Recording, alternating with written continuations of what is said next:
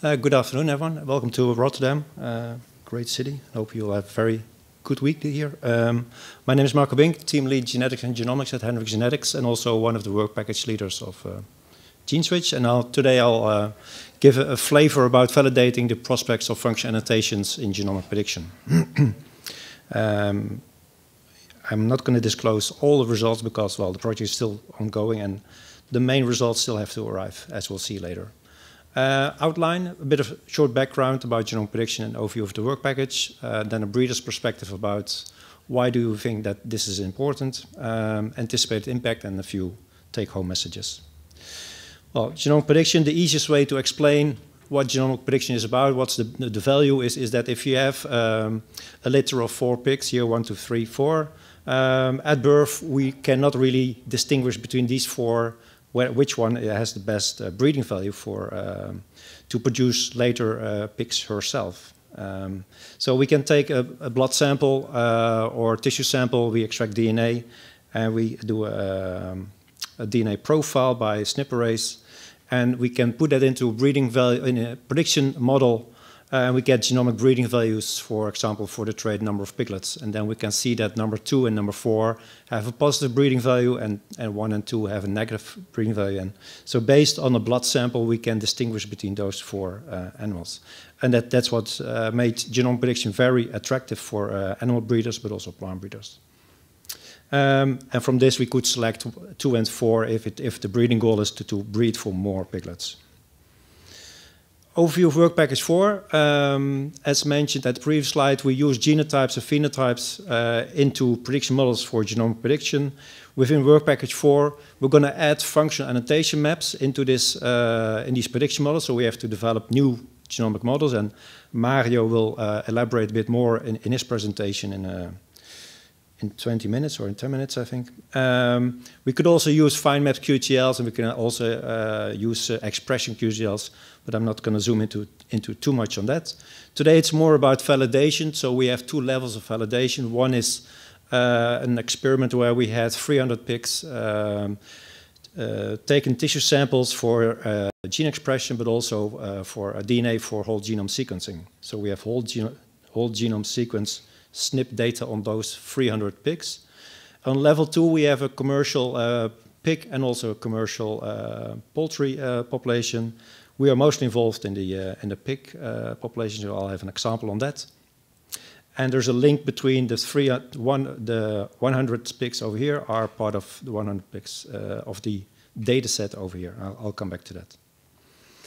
Uh, the first thing we did in, in, the project is to develop new models, uh, thinking about, okay, what, what if we can include gene expression, what kind of models do we want, what can we expect? Uh, we went, uh, we started off with a data set from the Jackson lab in mouse. Uh, why this data set? Because it was available. It had a lot of attractive features like gene expression data, a lot of phenotypes, and also a lot of function annotation data is already available for, for mouse. And in this uh, example here, I'm going to focus on body weight. So we have body weight measured on, on three different time points, 10 weeks, 15 weeks, and 20 weeks. And we, we took gene expression, or there's gene expression data from liver at week 26. And that becomes relevant that it's a week 26, as you'll see later.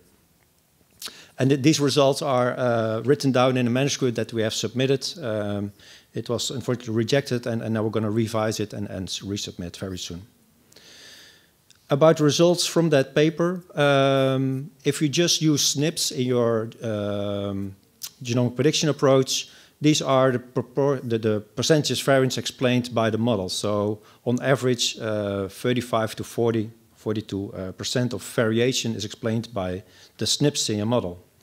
If we just include gene expression data, then we see that, that it, it goes up quite a bit. Uh, and it, it ranged from 68 to 75. We also see here that the, the, the numbers are increasing if we move on uh, in time, so closer to week 26. So uh, we explain more variants than, than SNP genotypes and also phenotypes closer to week 26. Uh, we explain more variation on those traits from the gene expression that was taken at uh, week 26. If we combine uh, SNPs and, and, and, gene expression data, so we condition gene expression on, on the SNPs, then we still see this pattern that, that we explain more variation closer to this uh, time point of, of measuring gene expression. Uh, we also see that, that the, uh, most of the variation explained by the SNPs because we condition the gene expression on the SNPs so that it's, it, it's a model uh, implication. But we still see this nice pattern. and we see that, that by combining gene expression and SNPs, we explain much more variation than just SNPs.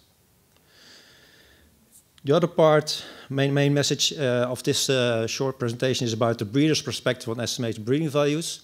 Um, so normally what we, we, we, used to do is, is a BLUP breeding value estimation. So you use pedigree and phenotype data.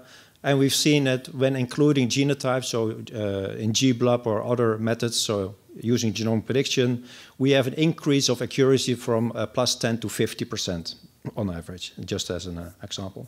And most times we use commercial or uh, customized uh, SNP arrays, about 50,000 SNPs on these arrays. Um, then the interesting thing is, is, what can annotations add to that? Um, and we, we, uh, we considered uh, so-called CADD scores, combined annotation dependent depletion scores that was written, uh, developed or extended by uh, Gross et al. Um, for um, mouse and, and, livestock species because initially it was developed for a human. Uh, and these scores take all kind of information into account about uh, conservation of the genome, uh, but also function annotation and gene expression. So it's a single score. Um, and so we evaluated what, what's the if we would add these CADD scores to the 50k array, what uh, how much more accuracy do we do we gain? And that, that's actually what's uh, presented over here. Five traits in, in layers. So this is not gene switch data because we didn't have access to gene switch data to do this kind of analysis. In these uh, five traits, you just have to look at the, uh, the arrows at the bottom. So adding these CADD scores, it, it increases for uh, breaking strength, uh, it decreases for egg number, increase for hatchability, decreases for egg, uh, egg weight, and increase for survival. So very mixed pattern, not, not really a boost of, of your accuracy. So adding these CADD scores, it's, it's, I made it gray because, well, we, we first have to uh, study this in more detail, but the first results, they only show 0 to 5%, so not, not a big gain.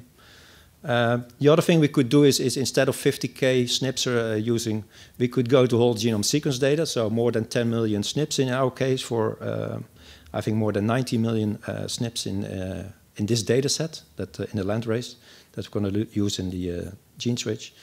Uh, genotype imputation is, is, is important. It, it, has been uh, studied quite a bit, uh, but and in this in gene switch we also did it, and we looked at the impact of if you start from a 3k, 10k, 50k, 60, 80k. So the size of the SNP array does it have an impact on the imputation accuracy? Also, we looked at uh, does it matter whether you do a so-called one-step approach, so go from 3K to whole genome se sequence level, or do you uh, include an intermediate step, so-called two-step, and see whether that the accuracy does increase on that.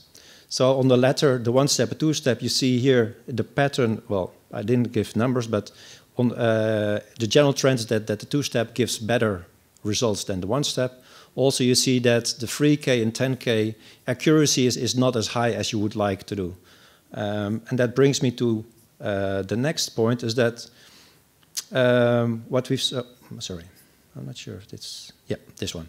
Um, if you would go just go use SNP data and you would go from SNP arrays of 50k to uh, whole genome sequence, we did not see many reports where they uh, reported a big increase in uh, prediction accuracy. So 0 to 5% is only minor. So for breeders, we don't get very enthusiastic about that yet.